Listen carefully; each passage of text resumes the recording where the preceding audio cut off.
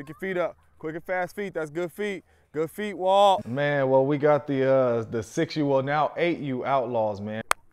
Well done. Well done. Run it back in. We did pretty well in six U, so we moved on up, you know, to, to eight U. Even though a lot of our kids are still six, seven, and eight years old, we moved up.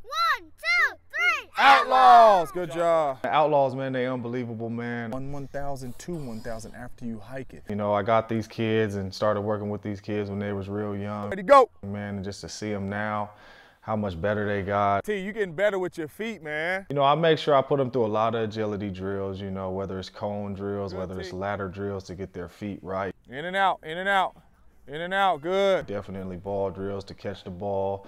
Good. Nixon, get it off your chest. All the fundamentals I learned at a young age, I used in the pros. And Rodgers is going to begin to take off and then fire, and it's caught. Touchdown, James Jones. So I just tell them, perfect these and you are going to be fine. One, two, three. Get it out. Thank you, sir. That's a play. And you're James Jones. You've got the fortune, you've got the fame, you've got the name, you're doing NFL Network stuff. Why are you doing this? Well, when I was little, you know, I wanted to play football. Mom didn't have the money. And, you know, one of my Pop Warner coaches paid for me to play.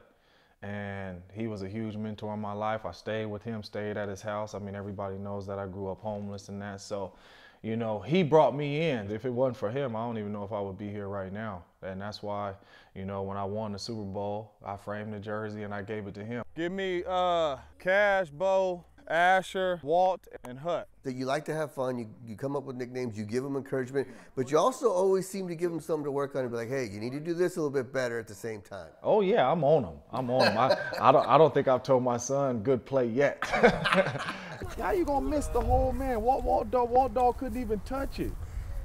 You know if you're a quarterback and you do that, you know where you're gonna play at? Oh. The Cardinals. Nowhere, sir. Nowhere.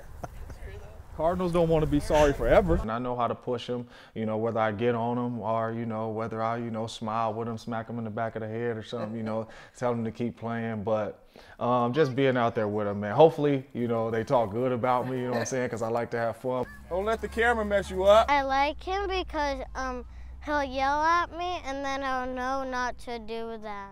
I did. It's like a family. We all like each other. We play together. You running like a turtle. He will get on them and let them know they didn't do a good job, but at the end of the day, he's just as happy as they are. Good, good. Come back. Whole week. That was like a 50 second play right there. Everybody's smiling, everybody's laughing. I'm not sure who's having more fun, you or the kids. It's very, very close. It's very, it's very, very close. No, but I tell them all the time, man. Even when they make a mistake, I'm like, listen, it's a game. Good throw. Good.